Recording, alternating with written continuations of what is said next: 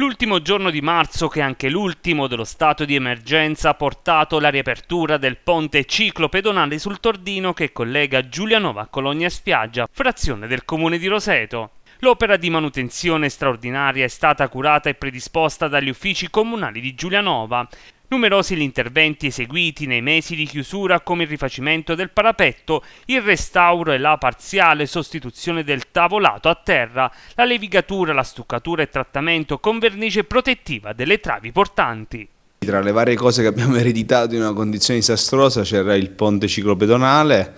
un lavoro di squadra, siamo riusciti a intercettare i fondi della comunità europea, in più un fondo aggiuntivo da parte della regione Abruzzo, l'allora assessore Mauro Febo ci diede una mano, ringrazio tutti, in primis l'assessore ai lavori pubblici del comune di Giulianova Giampiero Di Candido, eh, lo finiamo, lo ricondizioniamo, lo riconsegniamo alla cittadinanza e sarà ancora una volta uno snodo strategico per unire sia la città di Giulianova che anche la città di Roseto. Un ponte che era diventato pericoloso negli anni. Era pericoloso, tant'è che in qualità di consigliere provinciale ho anche richiesto una prova di carico del ponte che c'è stata ed è stata, e ringrazio anche qui l'ingegner Ranieri eh, della provincia di Teramo, eh, prova di carico che è stata superata, quindi adesso è non solo in una condizione estetica gradevole, ma è anche molto sicuro.